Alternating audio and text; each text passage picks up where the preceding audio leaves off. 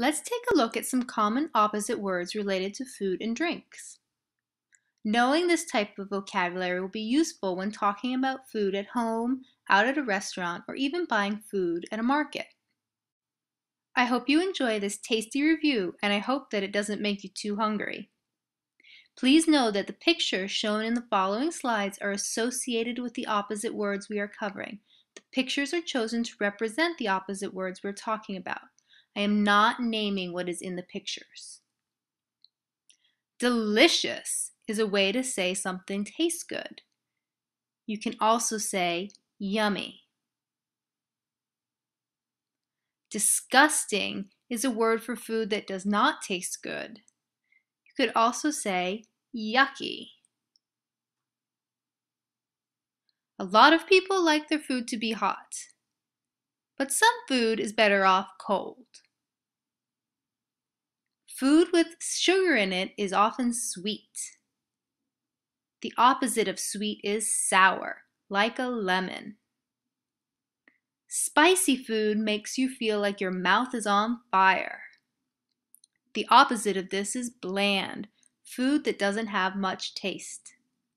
Fatty food isn't usually good for you. The opposite of this is healthy food.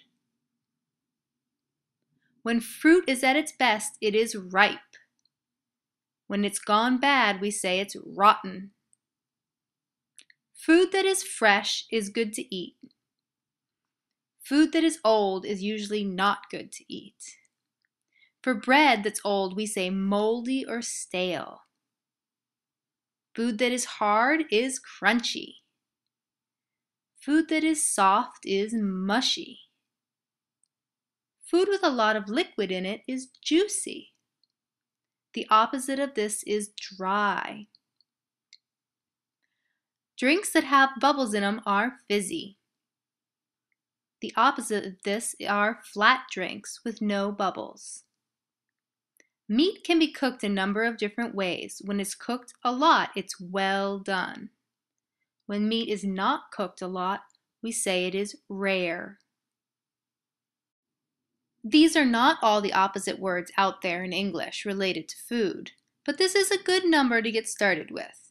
Hopefully you now have a few more words in your vocabulary to talk about food at your next meal.